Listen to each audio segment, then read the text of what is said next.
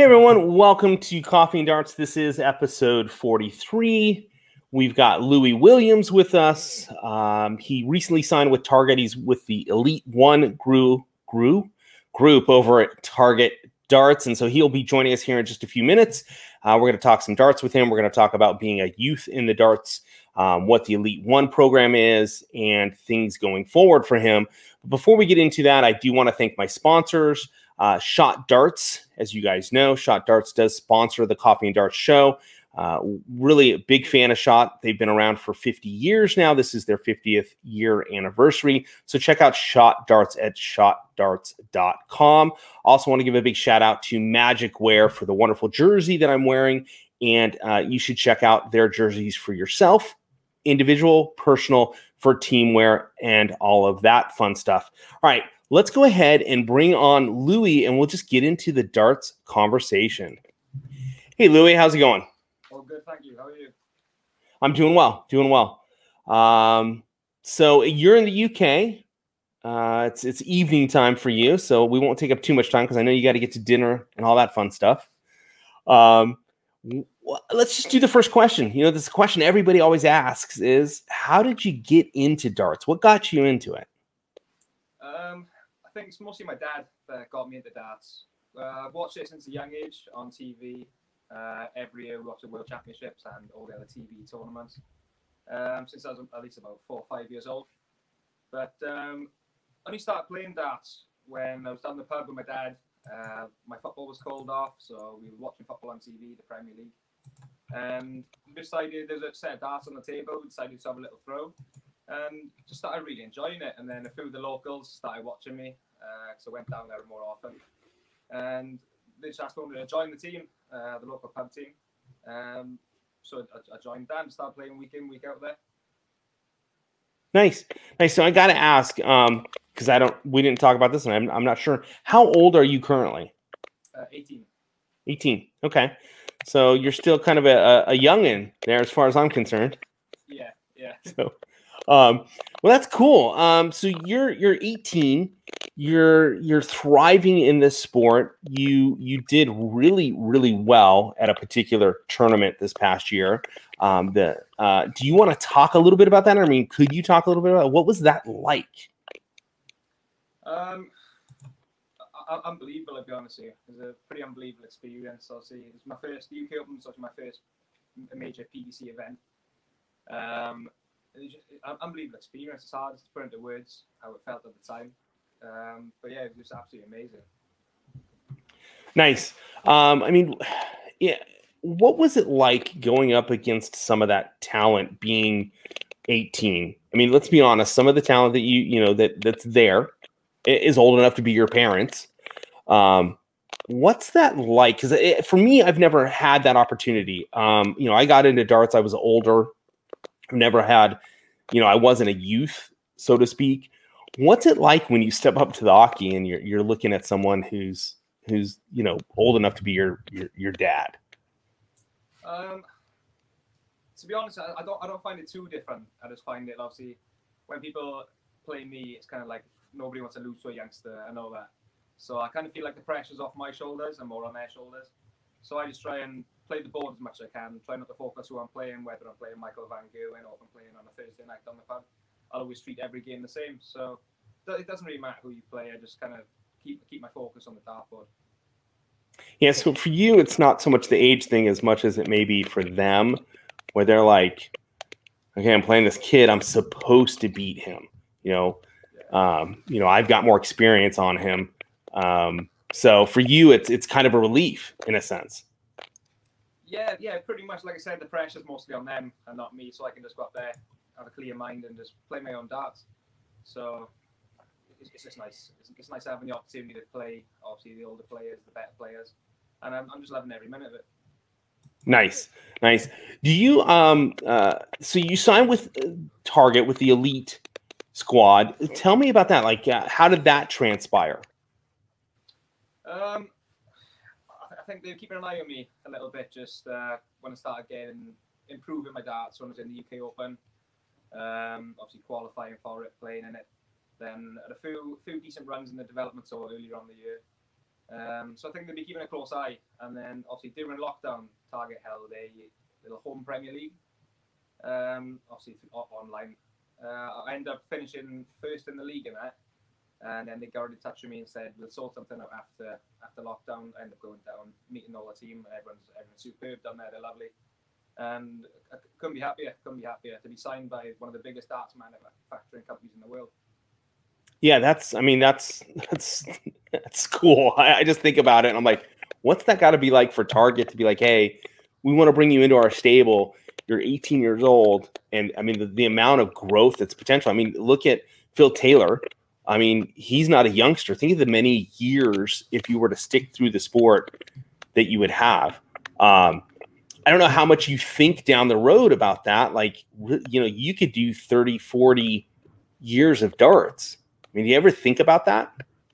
Um, maybe, maybe kind of a little bit, but I just try and I just try and focus on kind of like my next thing at the minute. So yeah, I've, I've signed for signed for three years. So I'm just going to concentrate on this year, then concentrate on the next, then concentrate on the next, and take it as it comes, and hopefully progress even higher and get to the eventually get to the top.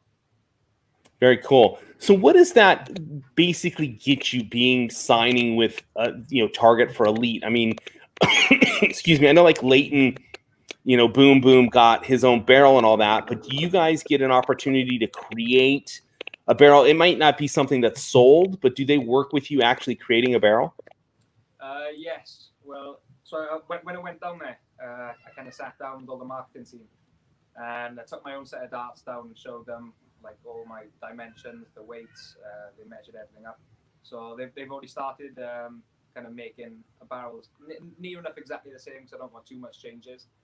And obviously, eventually, once I get settled with the set, they'll make a few more of them and maybe eventually sell them on the website as well. Very cool. Very cool. So you've got you've got your set of barrels that you feel real comfortable with. Um, how's that been? I mean, how what was the process like? I mean, I've talked to a couple of different darts players, and the, you know the process is always different for them. Sometimes it's we sit down and here it just works, um, and then of course there's the Peter Snake bites that ever are ever changing. How many renditions? What was the the? Did it happen in a day? Did it take some time? To be honest, it, was pretty straightforward in myself because um, they're, they're, all spot on down there, and it's absolutely unbelievable how, how they do it. I was shocked myself. Um, but I just kind of said, said the designer wanted, and they got on with it, and just rid away. perfect. Very cool. Very cool. So you have your set of, of barrels currently. Yes, so got got a uh, got a, got a set for now. Obviously, I'll get the practicing with them, and if I like them, I'll say that's the set I want. That's the set I want to continue with. If not, uh, they'll make a different set and then make it to them perfect. So they're, they're really good at that. Nice, nice. Well, I'm glad that you got to sign with them. What's it like working with uh, Darryl Fitton? Um, have you had an opportunity really? Because I know it was under COVID that this all took place. Have you had an opportunity to work with him or talk with him? Uh, yes, so I've met I've met Darryl a few times, and on Sky, he's, he's sound, he's, he's, amazing, and he does an absolutely amazing job with all the elite. Um, any anything you ask for, he'll sort out straight away. He's always there. He's always looking, monitoring, always checking up on us. Um, yeah, yeah. I, I, I practice a lot with Nathan Aspinall and Darryl come up uh, one of the days just to sort everything out, have a quick chat. Obviously, socially distancing, of course. Um, but yeah, we, had a really good chat about everything, about my future and what's going on, and yeah, so it was brilliant. Cool. So you've been able to work with the ASP. I'm a huge ASP fan. I don't know many darts players I'm not a huge fan of to some degree because I like little aspects of all of them. But I, I really like his his demeanor at the oche and his design. He's got that I'm gonna crush you mentality. And for me, that's a big thing in sports. I love that. What's it been like playing with him? Um, at first, it was kind of like a little, maybe a little bit of shock but um, obviously, we're sponsored by the same management company.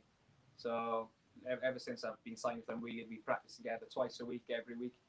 Uh, obviously, when he hasn't got big tournaments on or I'm not away. Um, yeah, it started off as a big shock, but since then we've just got closer and closer. Not just like not just as friends or not just as dart players. We've just gelled really well, and it, it's really good for both of us as we always have good games. We're always beating each other, and it's a it's a great opportunity. It's a great opportunity. Nice. Now, I, I understand that he was working a little with uh, Peter Snakebite for a while there. Um, has that rubbed off? You know, some of what he's learned there has that rubbed off for you? Yeah, I, I, I suppose so. Because I suppose you, you, can learn a lot from obviously all different players. That's why it's nice to mix things up and practice with different players. Because you can always learn the different stuff. Um, but yeah, definitely he, he's taught me a lot, and I can see my game improving um, as, as, it has been for the past six six to twelve months. So I'm really, really happy I was going. It's nice to have the opportunity to play with players like Nathan. Nice. Here's a question that has come in from Flo. It says, "Do you have some advice for players that are struggling for months? Someone that's like struggling with their game, maybe not getting any advancement in their game." Um, yeah, kind of. So going back about 15 to 16 months ago, I, I, was struggling myself. Um, didn't really want to play darts much anymore. And I ended up moving away, moving houses with a family. Um, I said I wasn't going to pick up another set of darts again, but I just kind of, I, I, knew I loved darts, so I wanted to carry on with it anyway. So I bought a totally new set of darts, kind of just changed a little few things, tweak tweak things up, changed my throw uh, slightly, not not too much and just started practicing a lot more. And when I didn't put too much pressure on myself, and I knew I just wanted to have a laugh, practice in my room, and that's just what I wanted to do. And then I felt myself improving from there when the pressure was lifted off, type of thing. Yeah, I'll say um, as someone who's been in sports uh, a lot during my life, playing a number of different sports, um, and and darts in itself, you're going to have moments where you're just not feeling it, and you, in in a sense, you hate the sport I always believe that you you keep tweaking a little, you keep practicing it, and then you'll have a day or a moment where you'll do really well. You'll hit a 140 or a 180 or something where you feel good and you just walk away at that moment. You don't keep throwing darts because that's what we're talking about.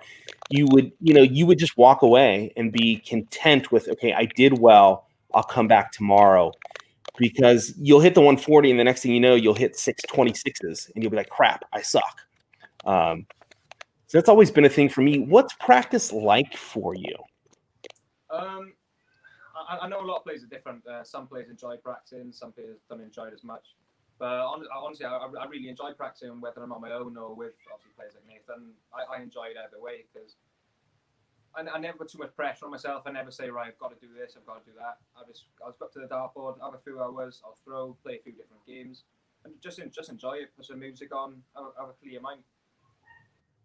Yeah, I've talked with a number of different professional players, and I'm surprised at how many say they don't practice. But then I've talked to some people. I mean, like take Phil Taylor for example. We were talking about this earlier. Um, his belief is practice, practice, practice uh, and that's how you get better. You know, he's he's in the mentality of the ten thousand hours. You've got to put in to get out. Um, is that kind of where your mentality is right now? Yeah, definitely, one hundred ten percent. Um, I've always watched Phil since a young age, and I just love the way he is. And obviously, I can imagine millions of other people who play darts always look up to Phil just from his dedication, his commitment, the way he is, the way he goes about darts. Like like you said, you, you get you get out what you put in. You know what I mean? So yeah, that, that, that's where I'm at, at the minute. I know I need to work hard for to get up to the top where I want to be. Yeah. Do you ever feel, uh, and I know I'm sitting on practice because that seems to be a big question for a lot of people is like, how much does a professional actually practice? I think we all get kind of shocked when we talk to, to people or hear professionals saying, oh, you know what, I do like a half hour a day. And we're all like, I'm trying to practice three hours. Do you find, you know, practice, you're enjoying it, but is it more an enjoyment because you're doing it with friends uh, and other players, or do you dive into it by yourself and really hammer away? Um, I, either way, really, either way, enjoy it. Like it's, it's always nice to have someone to practice with, only because you can talk to each other, have a little laugh in between. Um, but either way, even when I practice on my own, I'll put some music on, um, either put, put some darts on the TV or something, and just just just get on and throw, throw darts. That's, that's what I enjoy doing. I love throwing darts. Um, so yeah, I just enjoy myself. All right, and a question, another question that came in. Of course, practice tends to be the thing. Is what are some of the best practice games according to you, um, or what are ones that you find to be most helpful or fun? Um, to be fair, I've, I've always liked doing. I've seen the obviously the, the JDC virtuals where you got to do the Shanghai's. Um, I've, I've done them for a few years anyway, so I've, I've always enjoyed doing that because it's practicing all different segments around the board. Um, obviously, I like going online, few, few little dart apps where you can play against a level on computer. Um, I enjoy doing them. Also, um, a few different games really, like uh, tons. If you hit a 180, you got three points. If you hit a 140, you got two points. If you score 100, you get one point. And try and get to 21 in as many as at least as you can. Um, yeah. That's a fun one. I've got I've got one for you because my son created this. Uh, so my six year old, who absolutely loves darts, and like we were mentioning before, he's beaten me 27 times, um, and he'll he he remembers them all. Um, he came up with this game called the Cereal Challenge. We take little bits of cereal, Cheerios typically, and we will we'll stick them to the dartboard. Um, you can use tape or a little nail or something, and we will try and hit the piece of cereal um, and I actually did a video on that, and he hit the piece of cereal before I did. It's a ton of. It's much harder than you would think uh, to do it. It's kind of cool because the cereal explodes as you hit it with the dart. Um, I have told him that I will bring that up as much as I can during the show. So you may want to try the cereal challenge. Um, it's actually kind of fun. It makes a mess. yeah. yeah. Maybe maybe I can I can get Dylan to, to play you sometime. You guys can do the cereal challenge. Yes, definitely, definitely. As long as he doesn't beat me. yeah, well, that's that's the scary thing. he's he's actually pretty pretty wicked with the darts, and and his math ability is astounding uh, because of darts. Let, us talk a little bit about that. So, math, of course, being a huge piece of darts, you've got to be able to think quickly. You've got to subtract. You've got to do all of that really quickly in your head, um, so that you're you, you don't screw up the pace of your own play. Is math something that you enjoyed as a younger person? Uh, is is it something that you work on? Um, as, as, a younger person, obviously, I've done maths all the way through school, but I, I, can't say I overly enjoyed it. But I've, I've, always been pretty good at it. So I've, I've got the GCSE in maths. Um, yeah, I've, I've, always been decent at it. it, it does, does, does come in help, uh, come in handy with it. So yeah. Do you, do have you ever gotten to a point where you, you throw something and you, you miss you know, and you miss horribly. You know, maybe it's a flyer or you, you know, you end up hitting, you're trying to hit a 19 and you hit a seven, and you're like, oh crap. Have you ever had kind of a struggle there, or is it just come quick? I know with some darts players, oh my gosh, the the math ability is incredible. Yeah, I think you're you're always going to have maybe a few moments in your career where you're going to have a little bit of a miscount, only because it's sometimes more the shock of you didn't expect to hit that because if you're so confident at the time. You've seen Peter Wright do it, Gary Anderson doing it, so frequently. Um, but yeah, if you're ever feeling like you don't know what's left, just stand back, take your time, work it out. That's why the markers there as well. They're always there to help. You can ask them what's left, and they're allowed to tell you. Um, so yeah, just take your time. I say.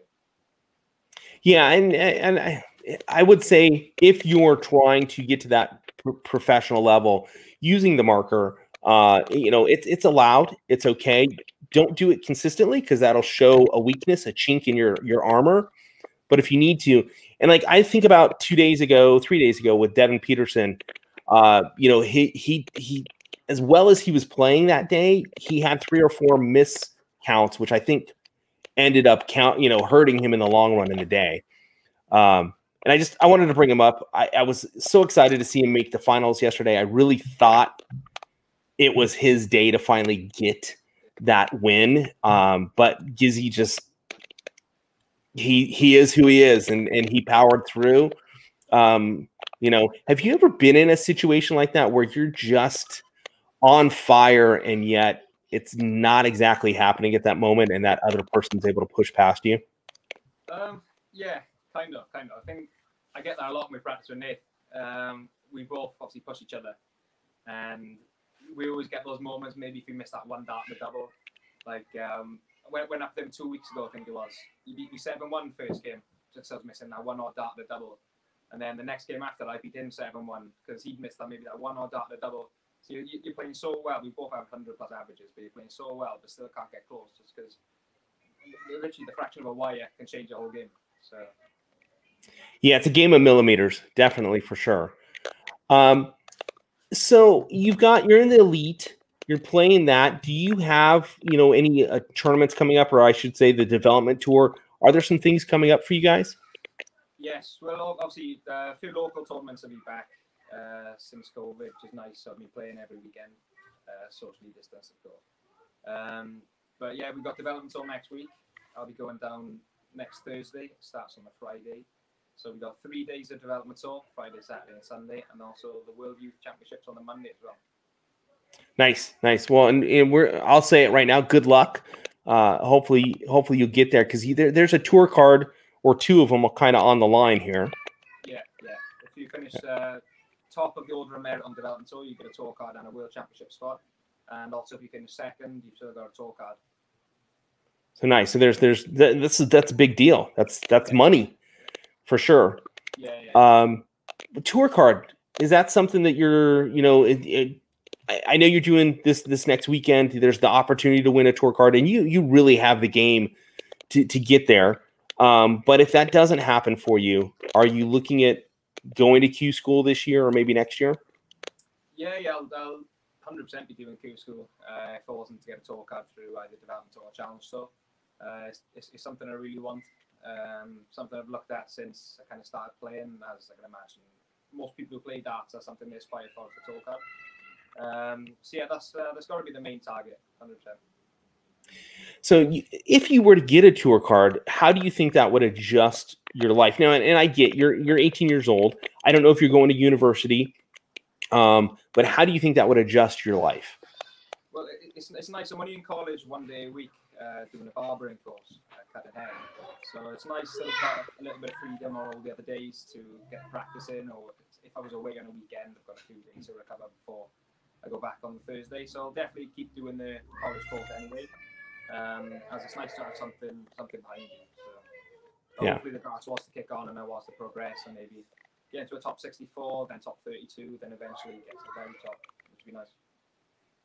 Yeah, well, yeah, that's that top 64 is kind of that first first goal because then you're you're you're solid, and then the top 32, that's hey, I'm making a really you know I'm making a decent living, and then of course the top 20 is is yeah, it's not bad.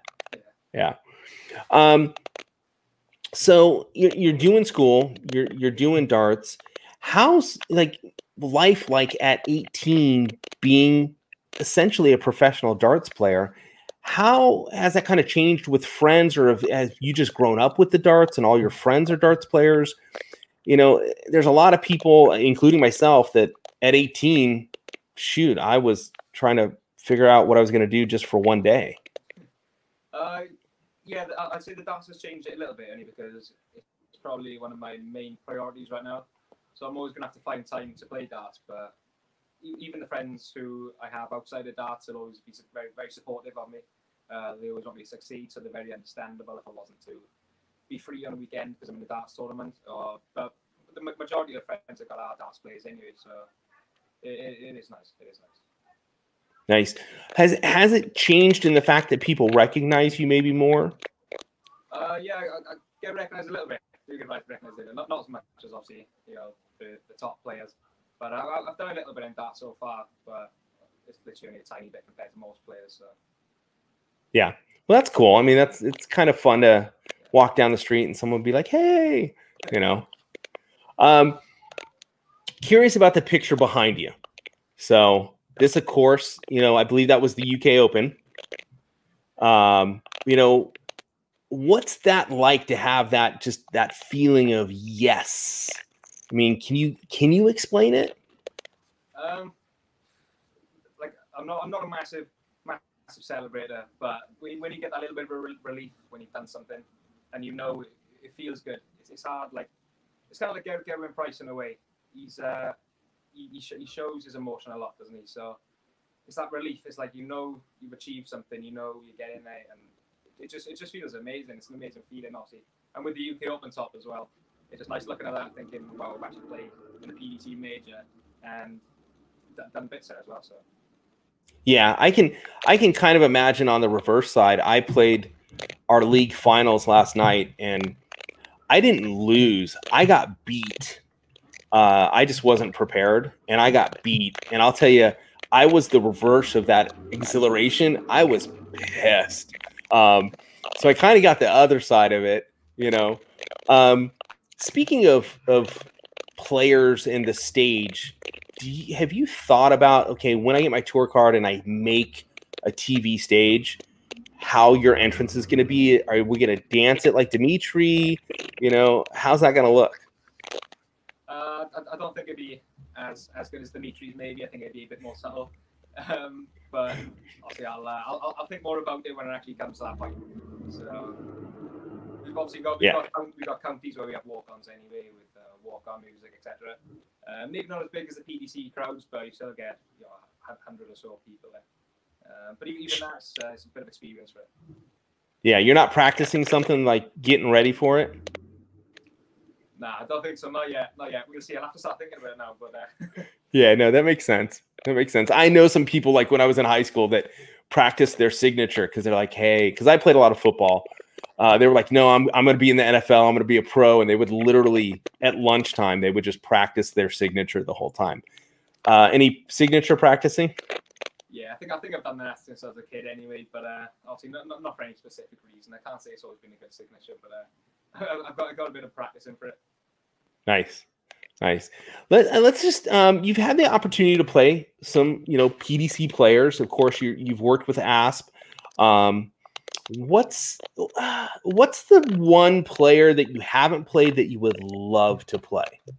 Uh, I think definitely Adrian, Adrian Lewis. I think Adrian Lewis. I've watched him since I was a young kid. Um, always looked up to him in a way. Uh, so yeah, I've, I've met him a few times anyway at the UK Open, etc. But um, yeah, I definitely want to play him, and uh, to beat him would be amazing as well. So. Just don't get on his bad side. He's got a, a really mean right hook. So yeah, I'll, make, I'll, make, sure I still say social distance from him just in case. yeah, maybe, maybe social distancing works really well for him. That way you can't he can't attack you. Um, you just can't upset him. Who's the player that you least want to come up against? Um, I can't say that. I can't say as a player I don't want to play. Uh, like maybe I'm scared of playing, but I'm not a massive fan of slow players, so maybe Justin Pipe or something. Yeah, and that's a good attitude. I think any professional should be like, "Hey, I want to take anybody and everybody on. I want the challenge, you know, no matter who it is." So that's that's that's a great attitude and this great answer. I always like asking that one to see if there's someone that people are afraid of. Yeah. Um, now let's talk about old timers, and I think they this should happen, and maybe Target could put it together themselves. But I want to see kind of like the champion champions tour where we take some of these players. We don't take them, but we ask them. You know, the Phil Taylors, the RVBs, um, you know, the I would say Bristow, but of course he's not not with us anymore. But you know, even the players from the the 70s and 80s that are still around that want to to you know, I think they should play like a five tournament type thing across the world so people still get to see because they're still great players. Um, out of like the older guys like Bobby George or so forth, who would be someone you would love to just play? Phil Taylor. Definitely Phil Taylor, 100%. I've, obviously, I've always looked up to him anyway, so uh, a pleasure to even meet him, never mind play against him. But that, that, that, sounds like a very good idea. Obviously, the old timers saw the legends, so um, I think that'd be great. That'd be great for viewers as well. Uh, a lot of people would love to see like Phil coming back and play Barney. Um, yeah, I think that'd be a great idea. Yeah, I think so. I know that they did it uh, a while back, but darts wasn't the sport that it is that we see today. Where I mean, it's it's massive. People across the globe. It's it's becoming soccer or football, depending on where you are. Um, I think it'd be great to have like a Legends tour. Um, yeah, Phil. Here's the thing about Phil. Um, I I think if he came back today, there would be there would be PDC players quaking in their boots. They would not like to see it because he still has game. Yeah, yeah, totally agree. I, I, think I think he definitely. Um, personally, I think he'd definitely be a top eight player still, because like you said, the fear he's got, players don't want to play him because of what he, who he is, what he's done. Um, I, I even think it'd be possible, possible for him to still win a major. So I, would love him to make a comeback. Would. Yeah, I think we all, to, to some degree, I think we all would. And at the same time, you're you're like, okay, it's it's nice that you've kind of moved on, and that's where I think having that tour comes in. So if I win the lottery, you know, or somehow I become filthy, stinky rich, I'm going to put it on, and and we'll pay these guys. So hey, I just want to throw this up on there. Will Stewart does say good morning. Um, I know that you got to play in quarantine darts uh, with Will and, and and some of the the players that he put together. What's it been like playing the virtual game? Um, it started off obviously it was a lot different because nobody was really used to it. So it was, it was definitely a lot different, but we had, had to make do, had to kind of uh, take it as it comes because that's all we had at the time. So we eventually got used to it and then started really enjoying it. I think it's nice that the likes of Will as well. He's doing an absolutely amazing job with the streaming. Um, it's a big help for it all. It's a pleasure playing on the stream um, in front of quite a lot of viewers. You know what I mean? They, they get a lot of viewers on it, and yeah, it's, it's good. It's good. Yeah. Do you think that the the streaming game, the virtual game, is is here to stay? Uh, yeah, I think it will. I think it will. Even with um, even with normal darts coming back, I think I, I generally like the online darts as it as it was still going on. But yeah, I think it, I think it definitely will stay. So a lot of people uh, a lot of people enjoying it and liking it. So I think I think it'd be good if it did stay. Yeah, I, I have this belief that we're going to see a fracture in darts. We're going to have that in-person personal game that the PDC is putting on, and then we're going to have tournaments of people that that play from their home, you know, or wherever they may may be set up. Um, I think we're going to see that. I, I even think we're going to drift from people that are playing the virtual game will have the opportunity to go play in in person. Um, I think that's what we're going to see. Yeah. Uh, what's your thought on the potential for cheating though with the streaming or virtual game? Yeah, that, that's the, that's the only thing I suppose because there has been a lot of uh, well, there has been quite a lot of people caught cheating, whether it's standing closer to the board or just claiming claiming data in for just like a fraction out. Um, I don't think there's actually a really a proper way around it unless obviously your camera quality is absolutely perfect, uh, proper close to the board where you can see everything. And I think you'd also need another camera to kind of point point at you as well to show you're not standing uh, any closer than you should be. Um, but I think it's definitely got potential, and it's definitely definitely at stay.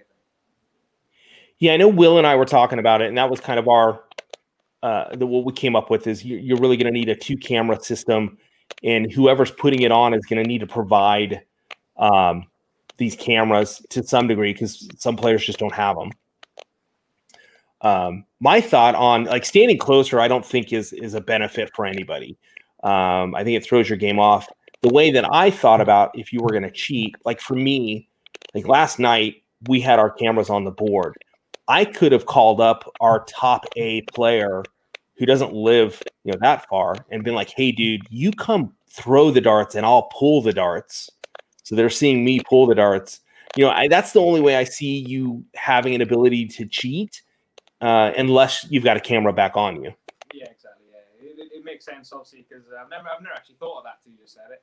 But uh, yeah, it, it, does make sense because it's, it's totally possible to do. It's definitely possible. So unless you had another camera pointing at you showing who's throwing the dart, I think that's the only way around it. And you need to yeah.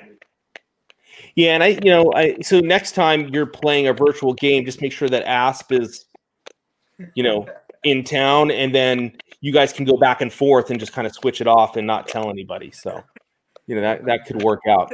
Um, it just depends on if he's on his game or not. If he's having a bad night, just sit him, just bench him. We swap over, we swap over halfway through. yeah, exactly. Um, that's one of the things I like about soft tip, like with the Granboards and the Nexus board and so forth. There's that piece where they've they've kind of already figured this out. You need to have two camera systems so that everybody's there's a fair play there. Soft tip, do you play that at all for fun, or you know, have you looked at playing it?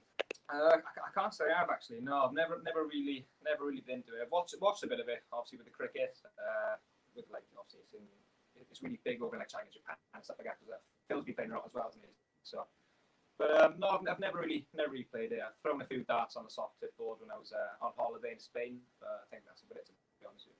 I, I, I do like the look of it, though. I do like the look of it. Yeah, the segments are bigger. Just so you know, this sponsor, this sponsor you have, Target, they've got this board called the Nexus. I'm sure if you ask for one, um, you you could probably get one of those boards. Um, so, have you done much since you know I'm in America? We love cricket. We we we decided that we would destroy anything that the UK brought over, and so instead of playing 01 games, we decided to create our own, which is cricket. Um, that's not entirely true, but somewhat. Uh, have you ever played cricket? Um, not not really, not really. No. Uh, I, I do like the look of it. I do like the look of it, but I, I haven't really looked at it too much in the way of I understand it all. But I'd like to get into it. I would like to. I'll tell you, it's it's fun, and, and when I think about playing it, you're actually, I mean, you're practicing the triples on the biggest numbers.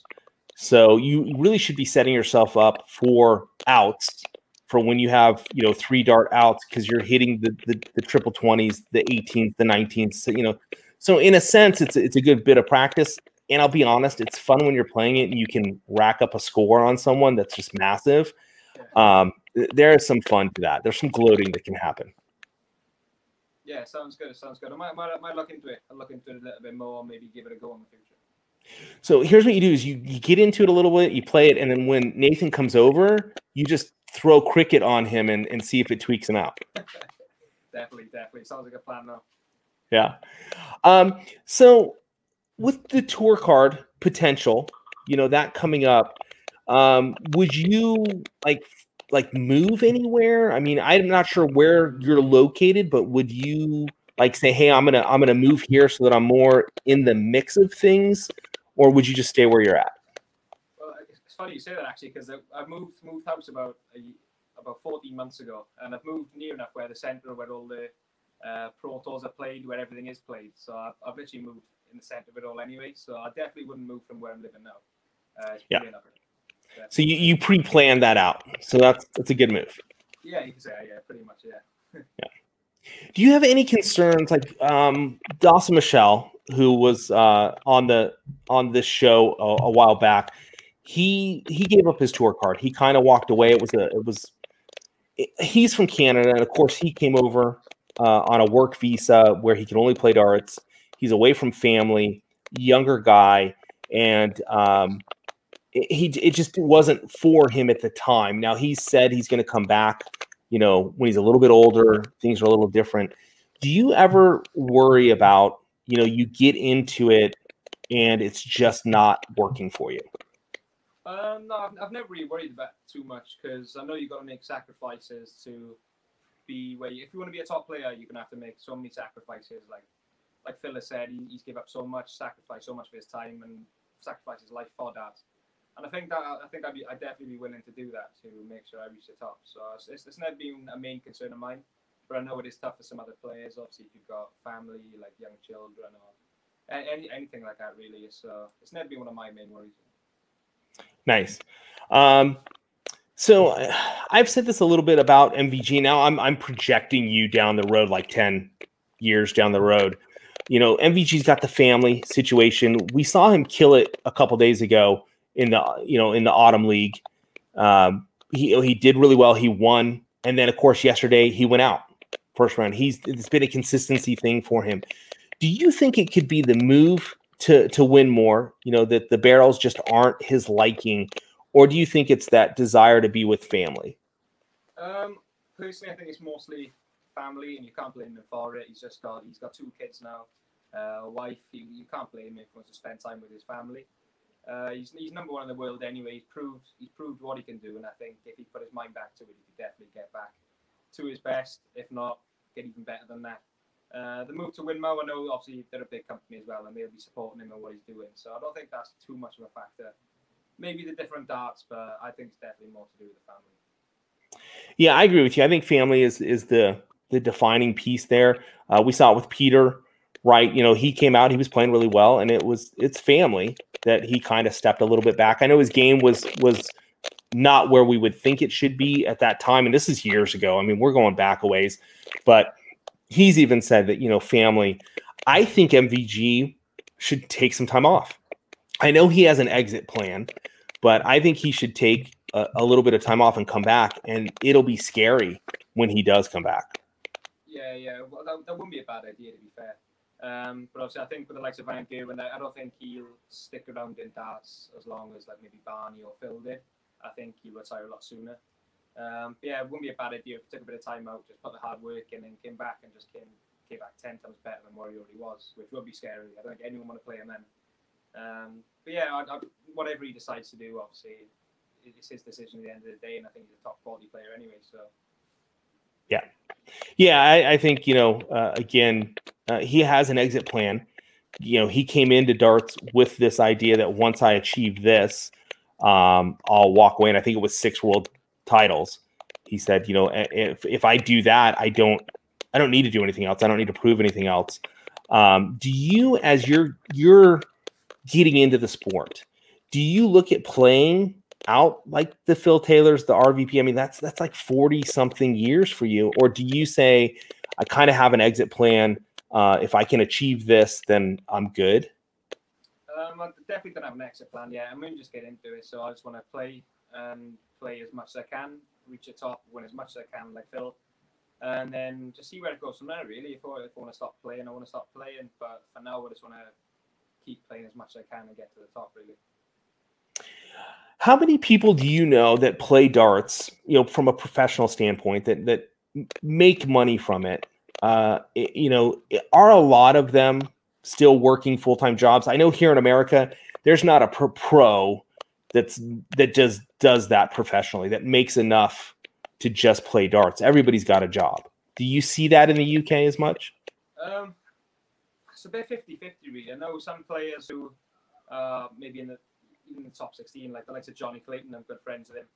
And I know I know he's still working as well. Um, but I, I know some of the some of the players, maybe even lower down, like maybe just top 64, aren't working because they feel like they're in a steady wage. It's not it's not too much, but it's not it's not too little to live on. So I think they're just happy with that sometimes.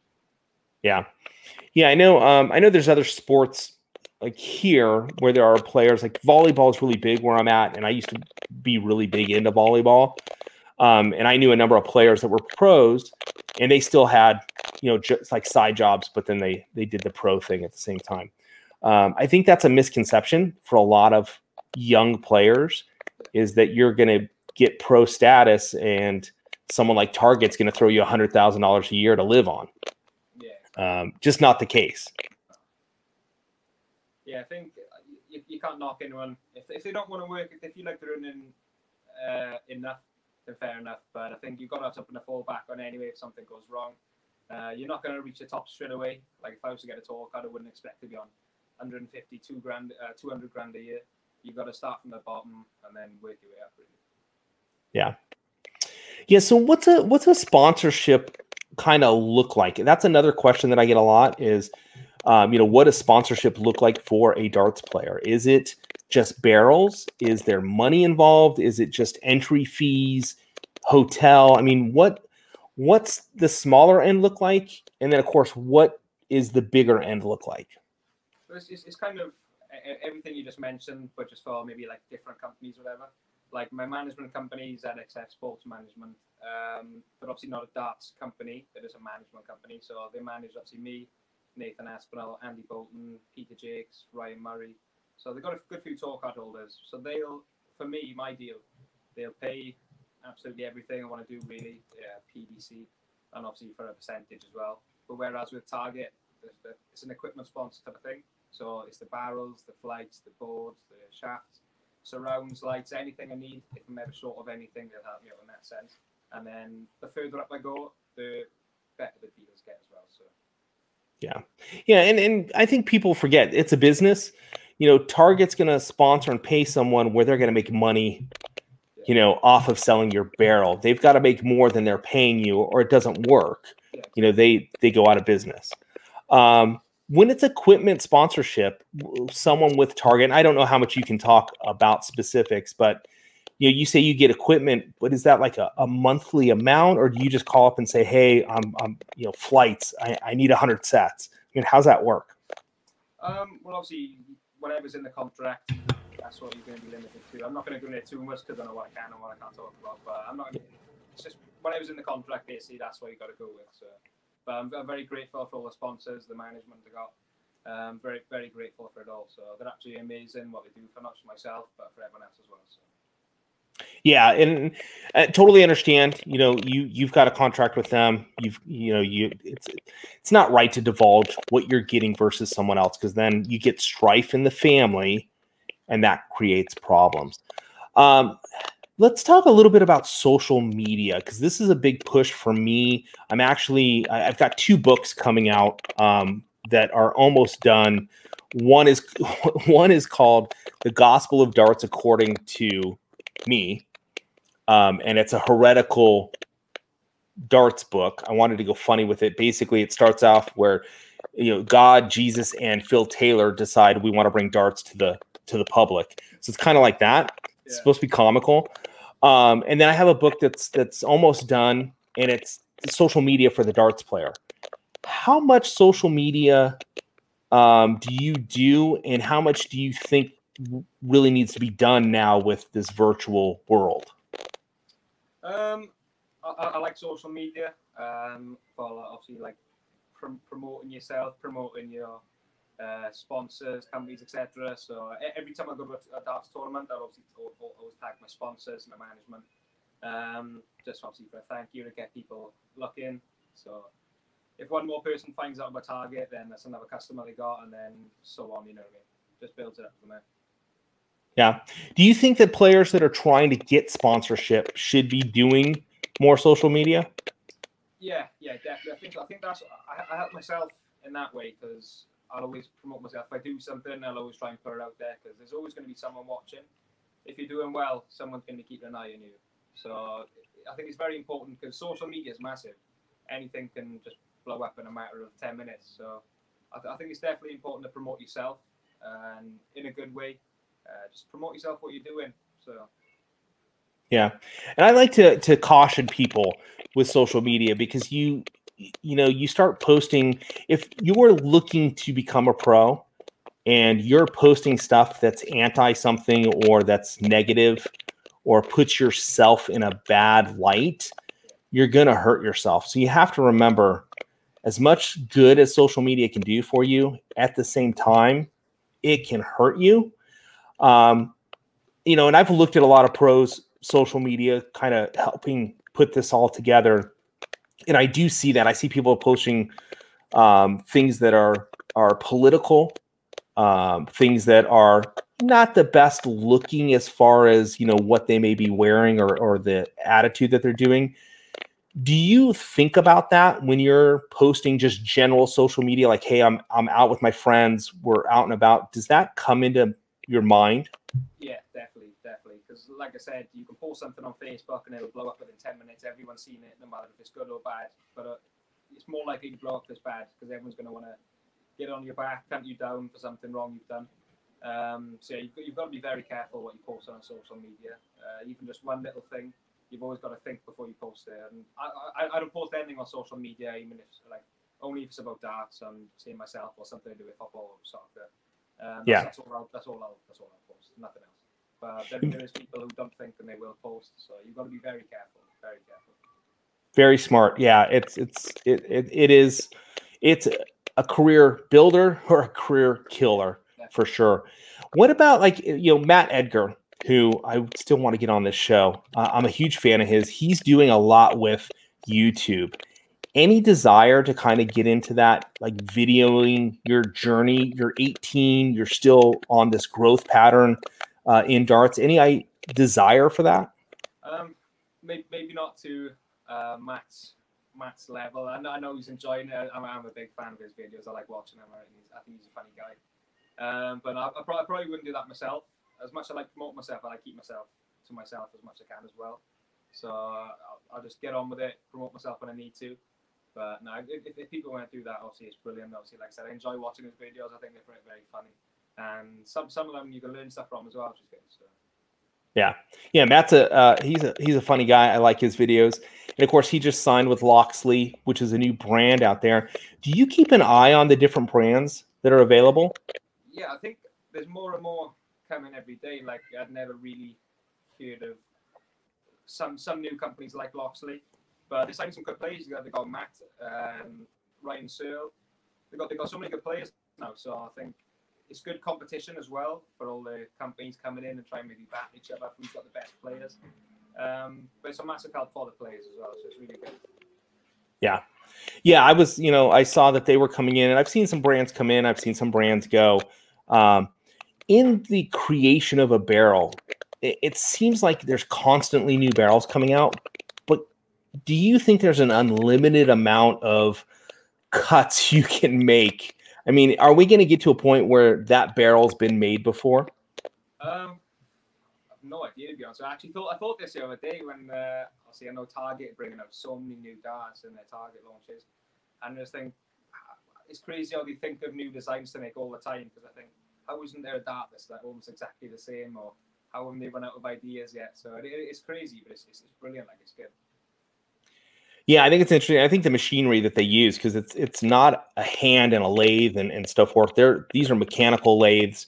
If you if you've ever watched any of the videos that Shot Darts does, uh, they're superb. They're, just, they're they're pieces of art. And this is I say this all the time in in reviews that I do.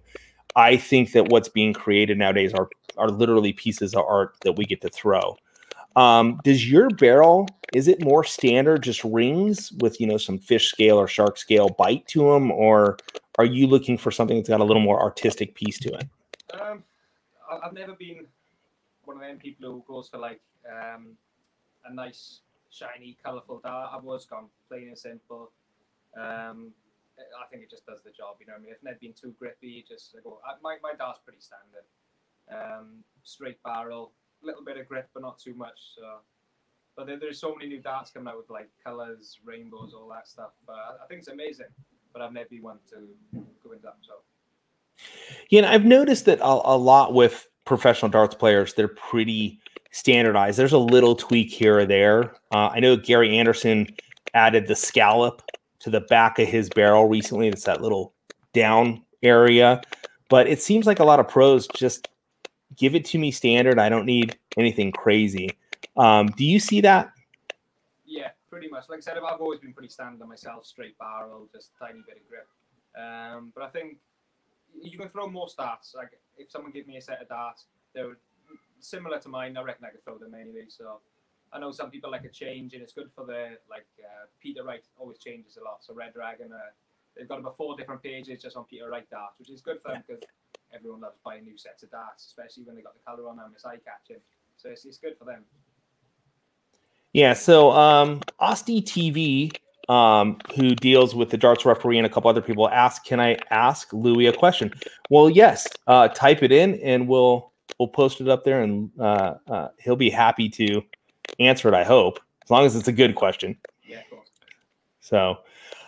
Yeah, and we are getting close to the show. So if anybody's got questions, qu- close to the show, close to the end of the show. If anybody's got some questions, throw them out, uh, and we'll we'll get through what we can.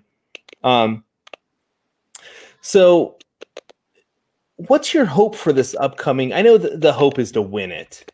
Uh, this upcoming little little bit of um, tournaments that you've got in a, in a week or so, but realistically, I mean, when you go into this, do you assume that you're going to win the tournament, or are you shooting for something else? every, every comp I go to, I think I, I always think you're going to win it. And I think anyone who wants to do something in darts have got to have that confidence where you know you're going to win everything. Uh, whether you win it or not, you, you still got to think you can win it. Otherwise, I, I, think if you don't think you can win it, I don't think you're going to. So yeah, I think if you do think you can win it, you've got that confidence. It just gives you that little bit of edge over everyone else. So yeah, definitely. I, I think I, th- I think I'll do. I think I'll do well. I'll do well. Yeah. I want to bring this up real quick. Just um, you're entering into this darts world. What's the thought about ladies in darts? And I know the elite one team from Target has at least two young ladies on the team. But how do you feel about the possibility that by the time you're really into the thick of the PDC, there's going to be five or six or maybe 10 females that you have to play? I think that'd be absolutely awesome.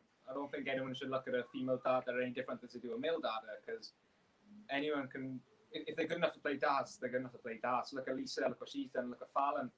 Um, I wouldn't like to play them myself only because the fact they know they can play amazing darts. So I, I think it'd be absolutely brilliant for the women's game. If, if they could gel together and there was more women who could be capable of competing, then I say go for it because I think it's absolutely brilliant for them. Yeah, I think it's kind of like the, the, the mile, the four minute mile. You know, you go back to Chariots of Fire and the, the whole idea that no one, you know, had break in the four minute mile. And then once it happened, like that year, like 12 people did it. It was just someone getting over the edge. And we saw Lisa Ashton, she got her tour card. She's playing the guys. We saw Fallon, you know, um, basically uh, get get past Teddy Um, and then she Suljovic, which that was huge. And then of course she she lost out to Hollywood. For some reason, I keep saying the Duzza that she lost to, but it, it was Hollywood. Um, and I mean that that propelled women's you know darts up.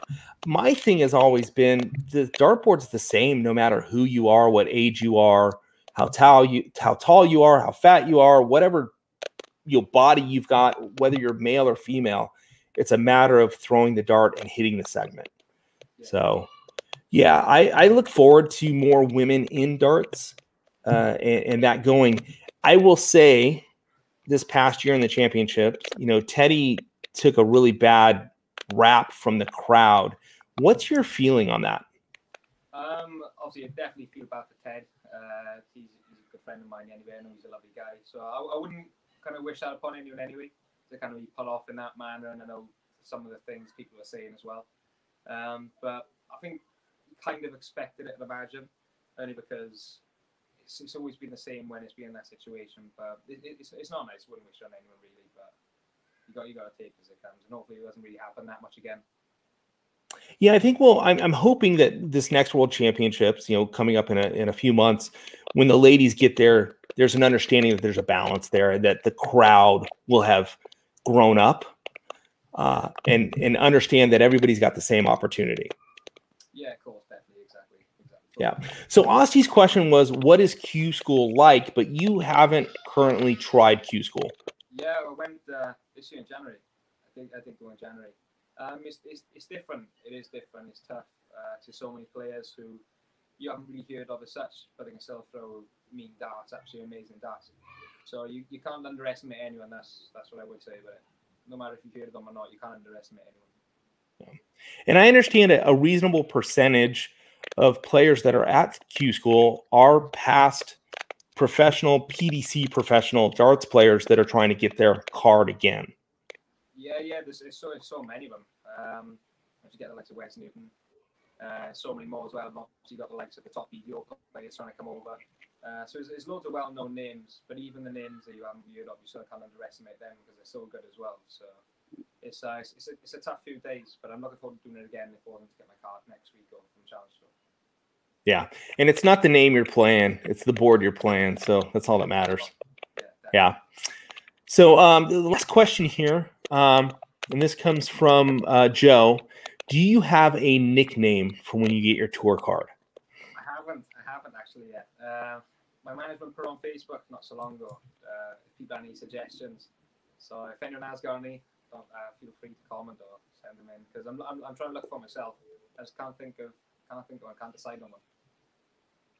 So, guys, if you've got suggestions, post them here, or you know, let uh, Lewy know. You can find him, of course, on Facebook and social media, and just let him know what you think a good nickname is. I do want to touch really briefly on management. So, you're 18, and of course, you're throwing really good darts. So, a management company makes sense.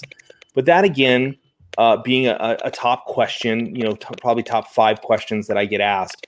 When should someone look at a management team? whenever feel ready, really. I think if a manager's if a management's interested in you, I think they'll feel like you're ready. Um, but if you don't feel like you're ready, if you feel like you can do something on your own, then that's it. That's it. Go for it. There's no uh, there's no pressure. There's nothing saying you have to get a management. But um, obviously, like I said, I can't thank Man enough because he does a lot for me, and I like, like to practice him Nath as well. Um, yeah, he's awesome. I, I can't complain about my management. But if nobody feels ready to get one, then there's no need to rush into it.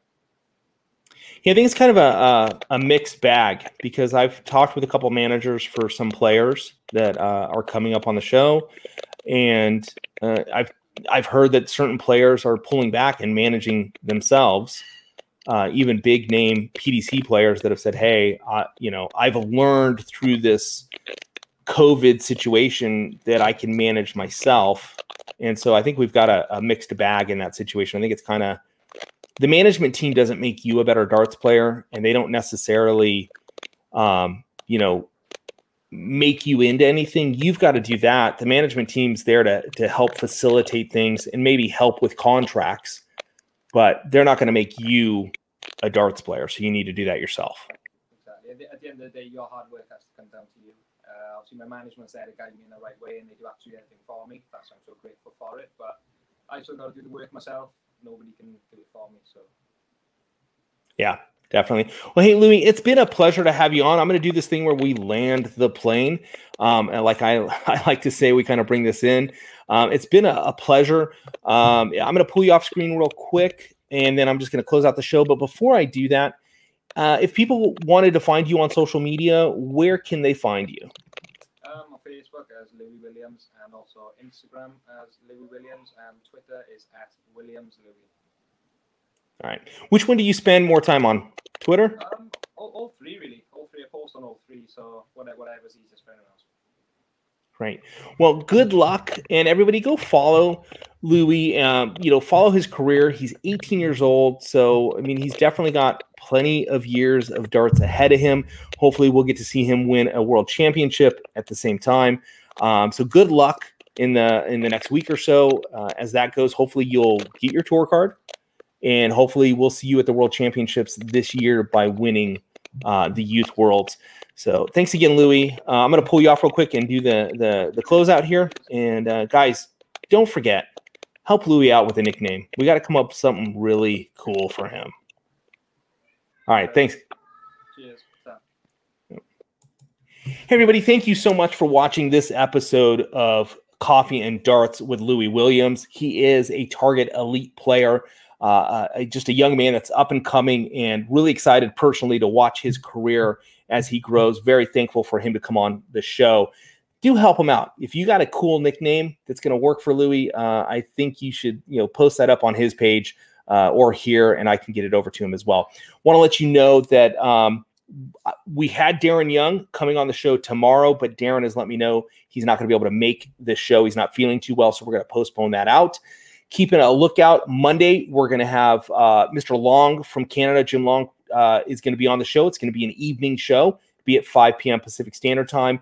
And then later in the week on Saturday morning, we're going to have Danny Lauby here uh, on the show as well. So that'll be Saturday morning, the 26th. And then Monday afternoon or late evening or early evening, uh, Jim Long will be on the show. So that's for next week. Thank you all for watching this episode. Again, don't forget to check out Shot Darts at shotdarts.com. Uh, they do have some new barrels coming out in uh, regards to their 50th anniversary and Magicwear for all your jersey needs. Thanks again, guys. I will see you on the next show, which is going to be Monday. And I might be sneaking a show in now between Monday just to do a Q&A. So if that pops up, hop on, do some Q&A. See you guys later. Thanks for watching.